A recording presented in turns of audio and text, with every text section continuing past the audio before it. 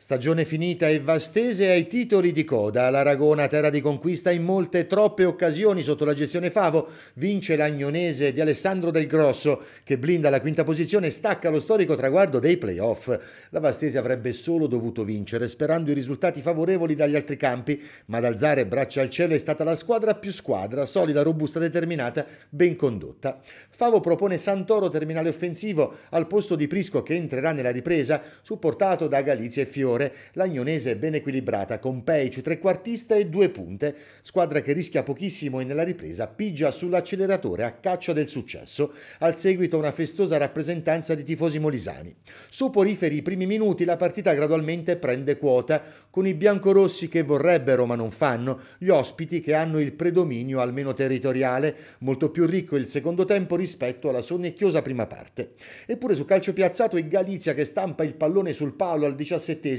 prima occasione. Rispondono i molisani con un pallone dalla sinistra che Russo respinge con i pugni, Peic raccoglie e mira in porta, Russo blocca senza affanni. Ancora Agnonese nel finale, Margarita vola sulla destra, resiste agli avversari, mette in mezzo per Ricamato che disturbato riesce ugualmente in qualche modo a colpire, pallone fuori di un soffio. Più emozioni nella ripresa con l'Agnonese che spinge a trazione anteriore, la partita si fa bella con gli aragonesi che rispondono rispondono colpo su colpo, il calcio franco di Fiore termina sulla barriera, poi l'attaccante non è preciso nella conclusione. Da parte molisana si protesta invece per un presunto rigore per tocco del centrocampista guida in area. Favo inserisce Prisco per Santoro, l'Agnonese ragazzo per Ricamato, l'esperto attaccante cambierà volto alla gara. Intanto ecco Prisco che al ventinovesimo si gira e costringe Campanico a rifugiarsi in angolo. Sul tiro dalla bandierina susseguente, sempre Prisco gira bene di testa, il portiere c'è.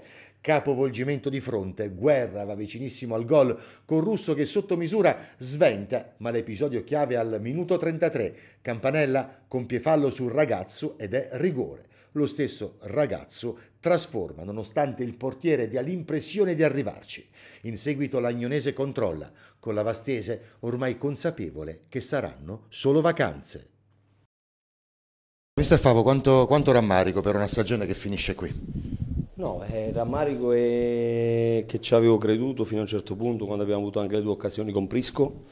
eh, anche se era un'illusione perché dall'altra parte la San Maurese vinceva già il primo tempo 3-0, però i giocatori non lo sapevano. Eh, fino alla fine, peccato anche che il rigore era stato preso una, stagione, una stagione che è finita, è finita così, però io devo dire ho sentito delle cose che non mi sono piaciute perché i ragazzi hanno dato tutto e anche oggi siamo stati sfortunati col palo di Galizia, con le due occasioni di Prisco e sinceramente potevamo sicuramente vincere la partita, era una partita aperta, si sapeva, noi avevamo solo un risultato e molte volte nella concitazione si sbaglia, si sbaglia, pure perché è logico che noi avevamo solo questa possibilità. Eh, fa male perdere in casa perché fa male perdere in casa mi è dispiaciuto pure che il ragazzo di rigore l'aveva preso purtroppo è proprio un'annata, un'annata che doveva andare, andare, andare, così adesso bisogna valutare se questi 45 punti sono, sono, sono troppi o sono, sono pochi nel senso che questa è una squadra che ha avuto degli alti e bassi e, però giocarci questa chance fino alla fine ne, ne, valeva la pena, lo avevo detto ai ragazzi e sinceramente anche la, la, l'applicazione alla partita c'è stata, hanno provato a fare tutto, dopo abbiamo preso questo, questo gol e un quarto d'ora dalla fine sembra una, il 3 di Gunone di questa annata, sempre con l'Alfonsini, prendi gol alla fine e non la fai recuperare. E poi peccato che nel momento migliore nostro, quando poi abbiamo messo dentro eh, anche Umberto quando avevo visto più stanchi gli altri due, cioè eh, Santoro e, e Galizia, potevamo fare gol. È andata così purtroppo. Alessandro Del Grosso, complimenti, traguardo storico pienamente meritato. Adesso il bello chissà deve ancora venire?